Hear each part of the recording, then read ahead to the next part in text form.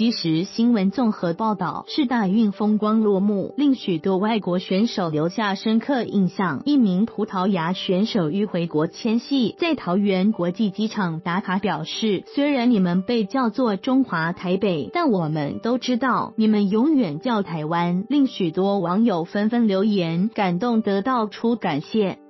葡萄牙选手里卡多 （Ricardo Enido） 来台参赛期间，在 IG 上发了多张照片，从事大运开场的表演，在场边观看比赛等，都看得出里卡多享受其中。台湾网友也纷纷以英文留言道谢，谢谢你称我们为台湾，而不是中华台北，并欢迎里卡多能再次回到台湾。